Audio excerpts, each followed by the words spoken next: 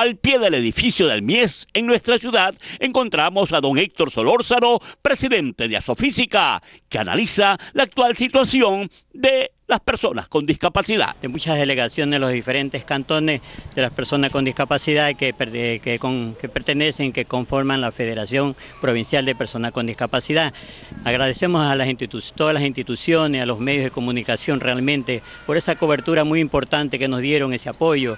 De aquí ya en adelante pues estamos pensando ya en lo que es el fin de año, en las festividades navideñas y realmente asimismo se va a celebrar en algunos sectores de la provincia del Guaya, como también lo vamos a hacer aquí en nuestra sede social. Aquí desde ya invitamos también a los amigos, a los compañeros, para que participen en el evento que vamos a hacer de Navidad, justamente en nuestra sede social en la ciudad de Los Vergeles, calle 25 de Julio y Jaime Roldós. Don Héctor, el común denominador de del criterio de la gente es que con el advenimiento del actual gobierno del presidente Correa, la vida de las personas con, eh, con discapacidad cambió radicalmente.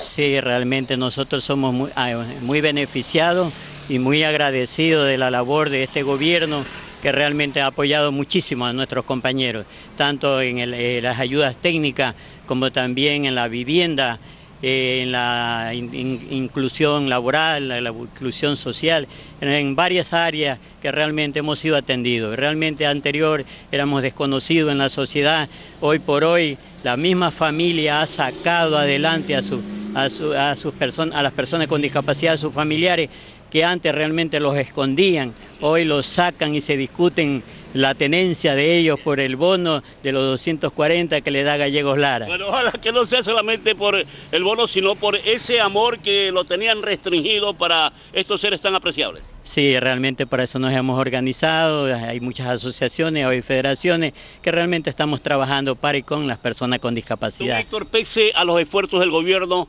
datos estadísticos revelan que todavía existen personas que no han sido atendidas. Sí, realmente es un universo muy grande. Nosotros somos cerca de dos millones de personas con discapacidad. Realmente algún, muchos han recibido, hay muchos que todavía no han recibido.